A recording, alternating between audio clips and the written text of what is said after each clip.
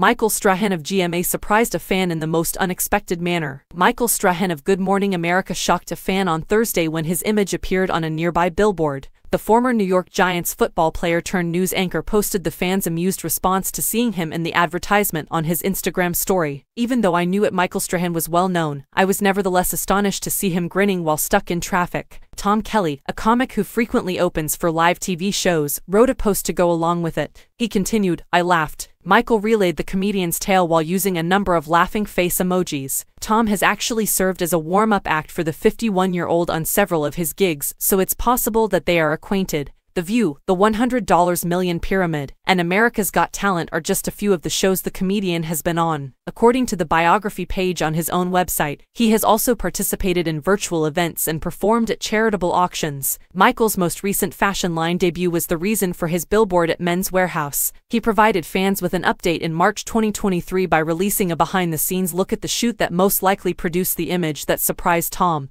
When the fit is good, smiling and feeling confident come naturally. He expressed his satisfaction with his collection in a statement that accompanied the video at the time. Another fan wrote, I like all your outfits, I'm glad you're showing men it's nice to dress up and feel good and I hope you have a wonderful day. Fans were also highly supportive of the daytime TV star. After the brand's initial launch in 2015, he also debuted his MSX sportswear collection the following year. His twin daughters Isabella and Sophia Strahan share Michael's love of fashion. The 19-year-olds are shared by Michael and his ex-wife Jean Muggli, whom he wed in 1999 and divorced in 2006. Isabella has modeled for companies including Overtime and Sherri Hill in the past, in addition to some of their father's own creations. Additionally, Sophia frequently posts photos of herself and her pals wearing stunning outfits while on vacation on social media, raising the possibility that they both possess the modeling gene. This September, when they leave for college, the two will make their father an empty nester. While Sophia is off to Duke University, Isabella has received a spot to study at the University of Southern California. The two most recently showed their support for their delighted father by posing with yet another of his many related items, this time his skin and shaving regimen line, in a CVS pharmacy. He captioned the photo of the pair with, at Isabella Strahan and at Sophie Strahan know how to put a smile on my face, implying that they had shared it with him in a sweet gesture of family pride to make him happy.